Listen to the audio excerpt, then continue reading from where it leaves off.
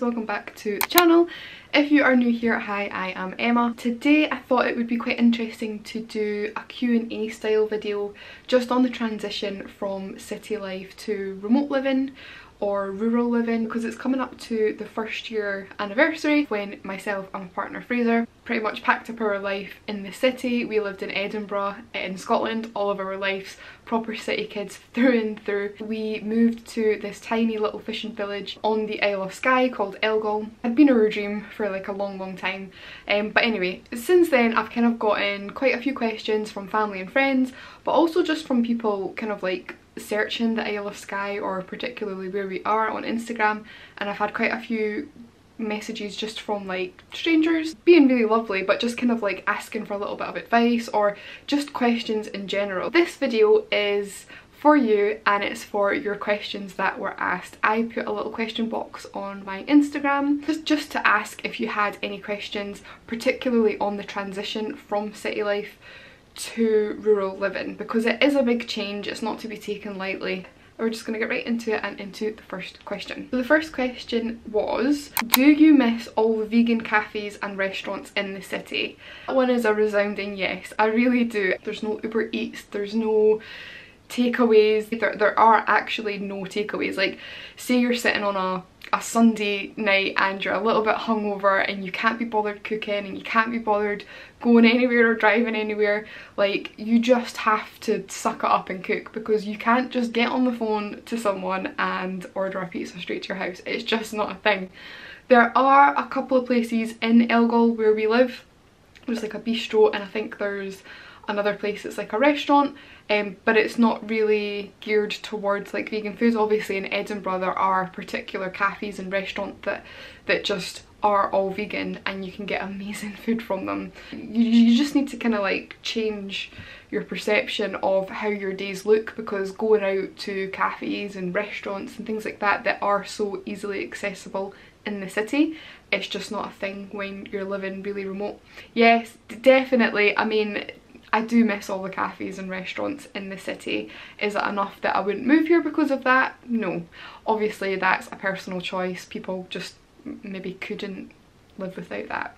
The next question was, how do you deal with being so secluded? Do you miss having people around in the city? Again, that's a yes. I do miss having people around in the city. Like obviously where we live there are people. We're not just like on this island on our own. When you're walking around in the city there's just always people around and I think when we moved to a remote location, that was one of the things that, to be honest, I was ready to leave behind. I am very kind of like introvert and I like being on my own quite a lot. And I think when you go for walks around here, it is very, very peaceful because nine times out of 10, you could go a walk and literally not see a single soul. Maybe not in the touristy periods, because in the touristy periods in the summer, like there's people around all the time which is quite comforting in a way. But just in general yeah there just aren't a whole load of people around. It's more got like a little community feeling around at this place like everybody knows each other and you know when you go out you can bump into people but in general when you go for walks and things there aren't people around and sometimes I miss it but I'd say like on the whole I don't think I miss that. I think it depends personally what kind of person you are. If you love having people around and you know you just feel like you couldn't live somewhere where you did go a walk and didn't bump into anyone or you just didn't have that like human contact even if you weren't talking to them you know like if you walk if you're from Edinburgh or a city or whatever and you walk up and down like the city centre and there's just lots of people around and you love that kind of like hustle and bustle feeling then maybe moving somewhere remote wouldn't be for you because you just don't really get that all that much. Depending on how rural you do go and how do I deal with being so secluded I feel like I just kind of deal with it quite well. Like I say I am quite introvert and I am quite quiet and I've always just been that way. Just ever since I was a kid I just loved spending time on my own. It is a personal preference. I know that everybody is different. But there was definitely a bit of a wobble and a transition to being more secluded. But yeah, I think, you know, living out here, we, we get so many visitors and I feel like back in the city, if someone said, oh, I'm going to come and stay for like a week, a weekend, I feel like I would have freaked out. but since moving out here, I feel like I welcome it and I love it because we're on our own all of the time that when we get a visitor it just feels really special and really nice. It's kind of like changed my perception around that as well. I welcome visitors with open arms. I love it when people come and stay. It's just such a nice thing. So yeah, hope that answers that question for you. The next one is how do you shop for food? What supermarkets are in Skye? So food wise it's actually quite nice. There is a local shop in Elgol who basically we, we place an order for fruit and veg each week. Um, it comes from like a wholesaler so basically we just, there's a little online form where you just fill out what you want, how many of what you want. It is primarily fruit and veg for us and then we just go and collect that every week so it's nice and handy. The shop is literally right next to our house. Out with that the supermarkets, there aren't as many supermarkets as there is in the cities. Like there's no Tesco's or Sainsbury's or Marks and Spencer's, anything like that really close to like where we are. The closest actual supermarket is a place called the Co-op and it's quite small, it's not like a huge supermarket, but it does have pretty much everything you would need. The prices are probably a little bit higher than what you could get at a Tesco or something. It's kind of geared I feel mostly towards tourists um, because they'll pay higher prices when they're in the Isle of Skye.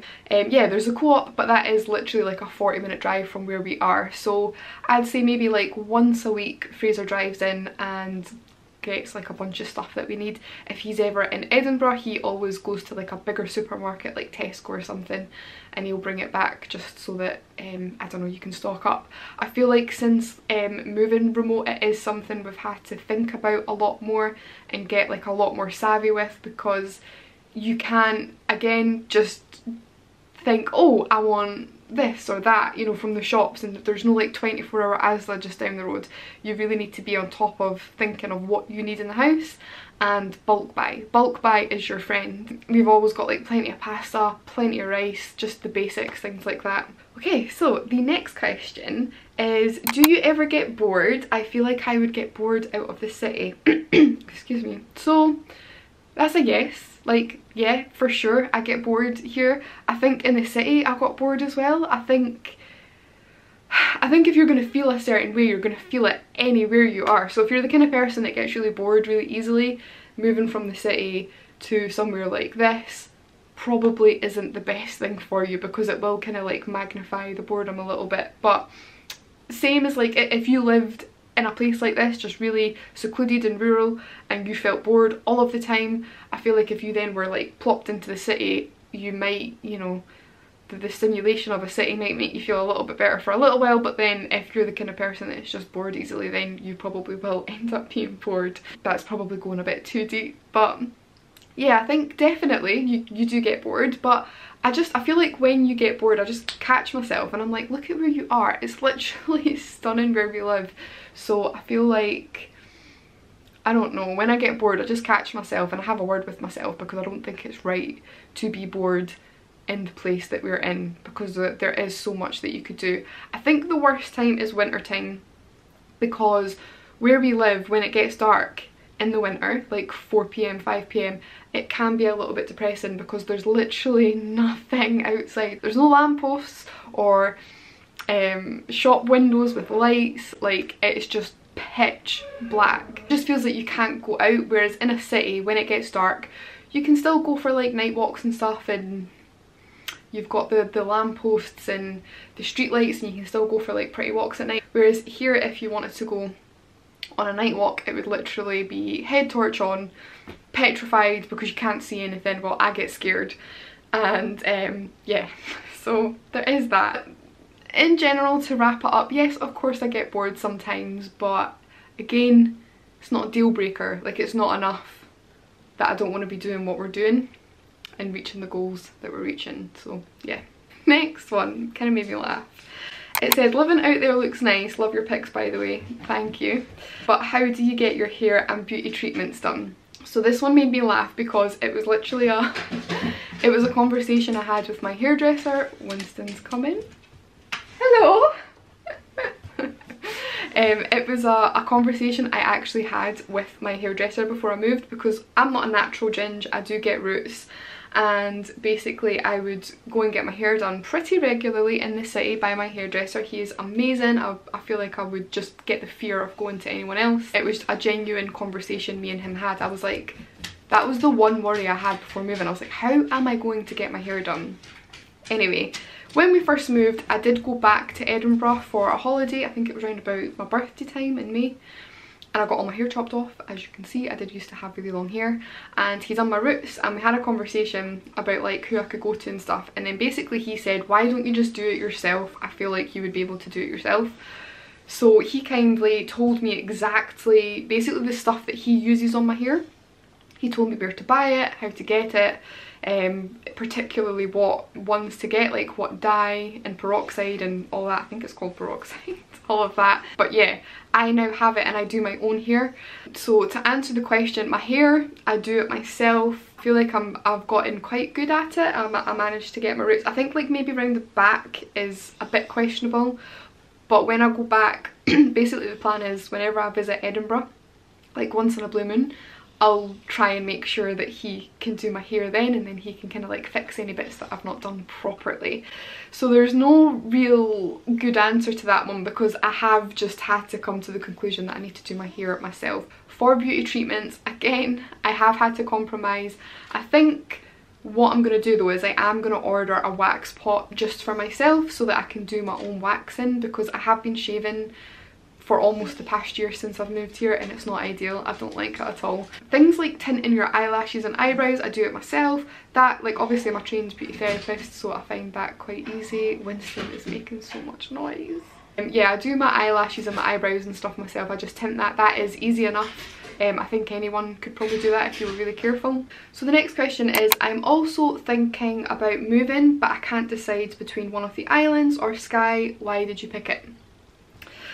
So I feel like this is a very, I don't know, maybe like personal thing, personal choice from person to person depending on what you're after. There are lots of different levels of rural living. It really depends what you're after.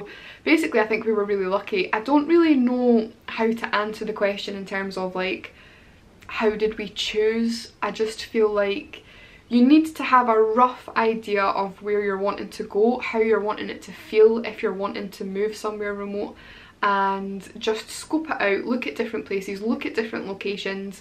If you're thinking of going to view a house in a location, look it up, see what the community's like, see how many people live there, um, things like that just so that you can get an idea of how remote it is and what it's going to be like living there. If, if you have a list and there's a couple of things on that list it'll definitely you know narrow it down a bit for you if you want a sea view or if you want mountain views or if you want hill views or if you want it to be like a little cottage just just try and like make a mental list of what your like non-negotiables are and start from there and just have a look and see what's out there. And I think also just viewing places even if you don't necessarily think that you're going to put an offer in or it's going to be the, the house that you want to live in just going places and experiencing where it is how secluded it is I think that's really important as well. So um, I hope that helped and yeah, good luck in looking and finding a place if you are going to make the move. I do recommend it, just personally, from my own experience. One of the other questions was, how do you survive without sushi? Exclamation mark, exclamation mark, exclamation mark, exclamation, exclamation mark. So basically, be being vegan, obviously I can't eat proper sushi, Sushi isn't really the kind of food that is my personal favourite. Fraser absolutely adores it. He loves vegan sushi. It's not really my jam.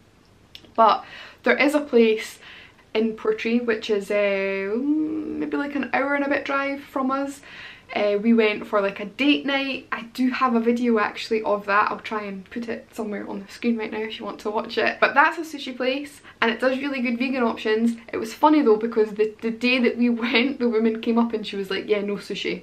We're not doing sushi tonight. And Fraser was like, what? But it's a sushi place. Where's the sushi? but what we did order was really nice. It's a little bit more of a commitment for things like that, like date night and going and getting sushi. You really need to think about it and plan it.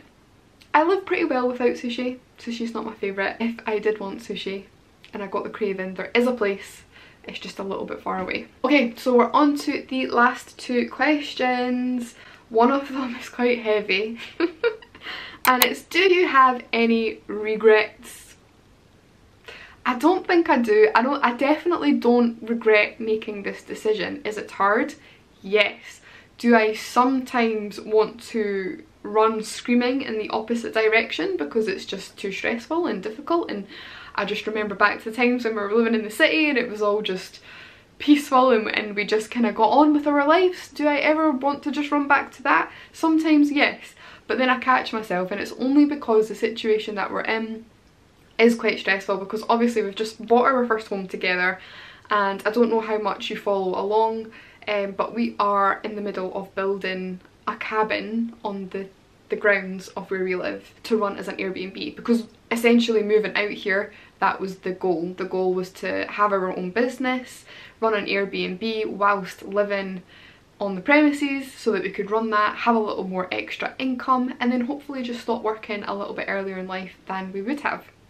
So that's the goal and I think whenever I get really stressed or I think my god why did we do this? This is so difficult. This is like challenging. I just I think we both get like that. We both do have our moments of getting overwhelmed. I think it's just about kind of like grounding yourself and remembering why. Like if you're going to do anything in life you have to have a solid why. And this is a prime example of why. Because if we didn't have a solid why I think we would have bailed by now. It's literally not even been a year but there has been really stressful times times where both of us have kind of found it like really difficult.